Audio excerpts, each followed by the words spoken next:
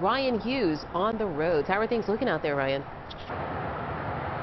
Hi, Natasha. Good afternoon. Yeah, most of the people traveling this Thanksgiving, they will be driving and they are already on the move. We spoke with a lot of families that are going pretty far to be with their loved ones. And for some, this will be the first time that they're all together in years.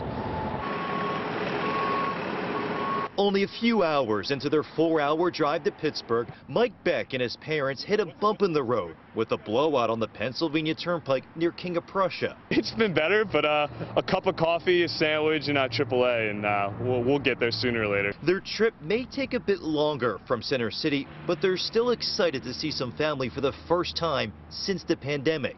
It's hard to put into words, especially like we were just saying what it's been with COVID the last couple years and how hard it's been not getting to spend a lot of time. So I treasure these moments even more. According to AAA, nearly 55 million people will travel for Thanksgiving, and despite gas prices being the highest they've ever been for the holiday, the majority of travelers are hitting the road to see loved ones. Well, because of the pandemic, we haven't seen our grandchildren in almost two years, so um, that's why we made this trip. Rich Brower has logged a lot of miles after leaving his home in Florida to visit relatives in Long Island and New Jersey. Quite honestly, you know, it's not going to bother me. I'm going to go make the trip regardless.